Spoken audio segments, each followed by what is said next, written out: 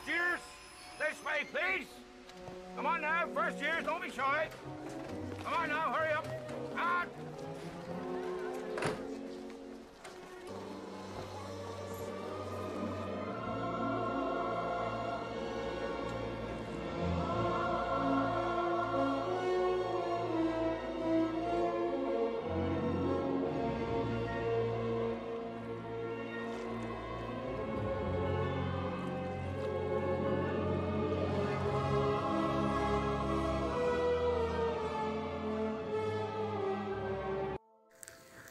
A Slytherin will use the rules to achieve their ends. A Ravenclaw will question why the rules even exist, all the while obeying the rules. A Hufflepuff will enforce the rules for the benefit of everyone. A Gryffindor will break the rules for what they believe is right. So, in that way, the Hogwarts houses they represent ideologies, mindsets, and ways of thinking. They don't represent um, people and behaviors necessarily. When I call your name, you will come forth. I shall place the sorting hat on your head, and you will be sorted into your houses. You can have cowardly Gryffindors and brave Slytherins and stupid Ravenclaws. I think that the houses just are there to to tell us about different ways of thinking. The Slytherin is very um, structurally minded, so their their mind will always try to create a structure from everything that they learn. Whereas the Gryffindor will try and defy structures. They do not like authority very much. They will try to um, break the rules for everything that they believe is right. They are often very opposed uh, to rules. The Ravenclaw represents the intelligentsia.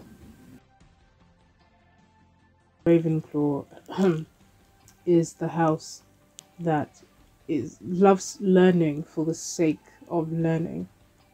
Uh, one of the attributes, obviously, of, of such a house is the um, is the fact that the house will obviously produce a lot of um, academically capable students. But the Ravenclaw does not necessarily mean that this um, the student is going to be academically brilliant. It just means that the student will be a, a free thinker because the ideology behind Ravenclaw House is of um, free thinking.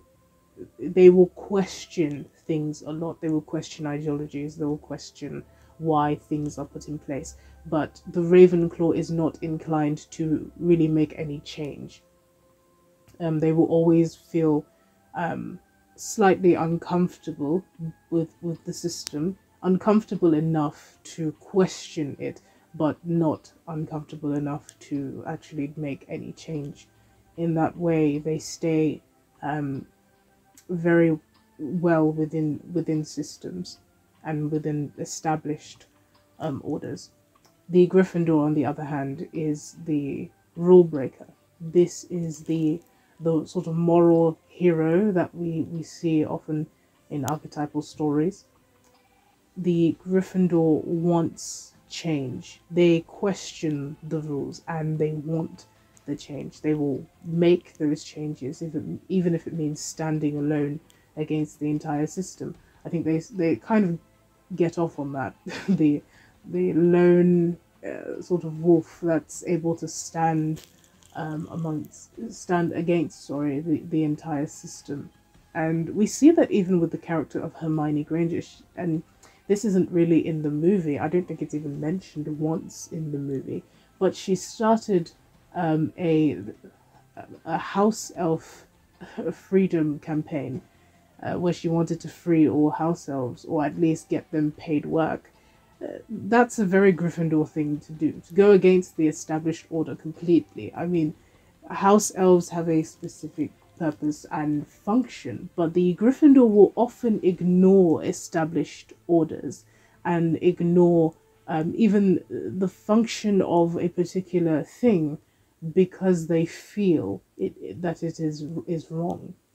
So they, they often act rashly because their feeling is, is, is stronger um, a lot of the times than, than the way they think.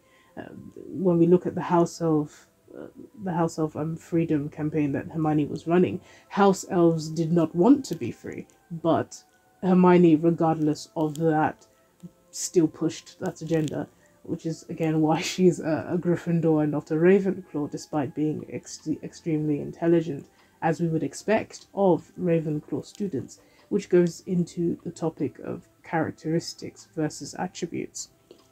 So, an attribute of Ravenclaw House is um, intelligent, intelligent students, but it, it's not a characteristic. A characteristic is an intrinsic um, part of something, and an attribute is the feature that that characteristic produces.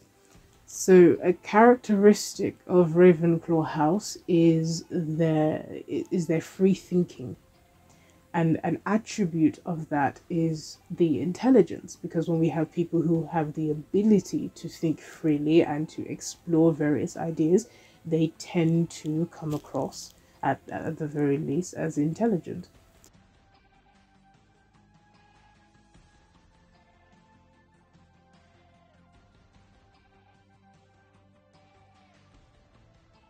When we look at Slytherins, we find a house that is very bent on tradition and upholding structures. A Slytherin operates um, best within a system. They set the rules in place, they put the pillars up for everyone to see.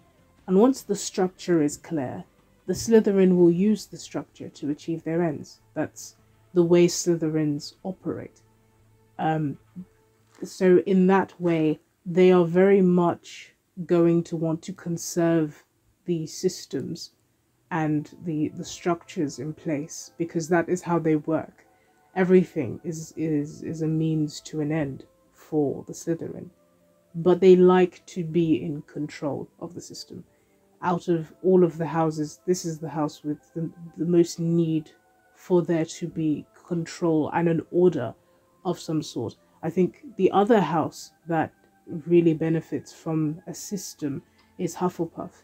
The Hufflepuff is the enforcer of the rules. They look for order, they look for justice, but rather than using the system for themselves, the Hufflepuff will use the system for the benefit of everyone else. They will use the system to ensure that people are treated fairly.